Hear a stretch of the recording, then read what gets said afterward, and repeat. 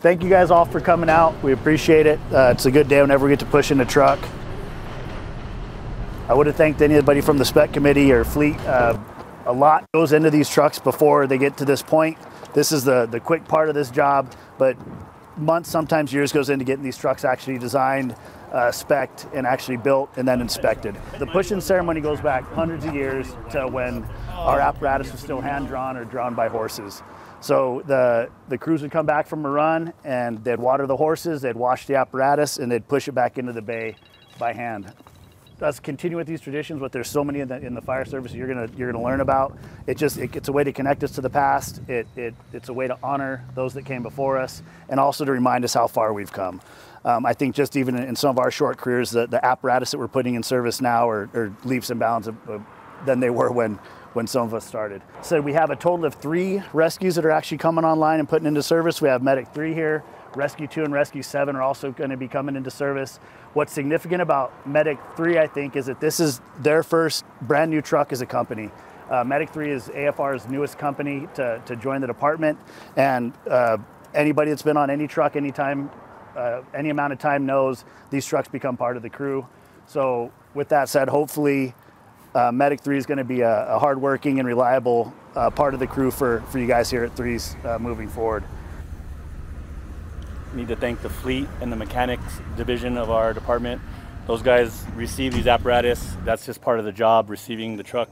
They then have to put all the equipment, mount all the uh, stuff they use, their SCBAs. All the equipment that goes in these trucks are then mounted, lights are added.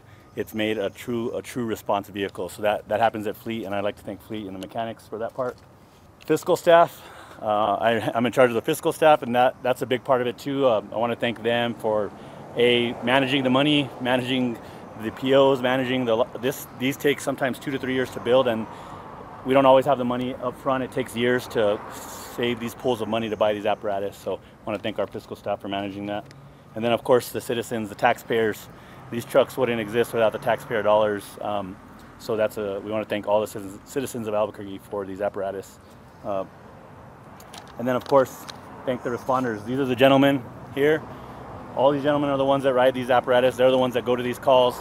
They're the reason we get these apparatus. They're the reason we exist. You know, these guys are the heart and soul of AFR. So, um, Medic 3, uh, Lieutenant Fair touched on it, but Medic 3 is a new response type. Uh, it's similar to a rescue, but it has one paramedic and one BLS responder, and it allows us to now run basically two rescue units out of one station for the growing call volume in the area.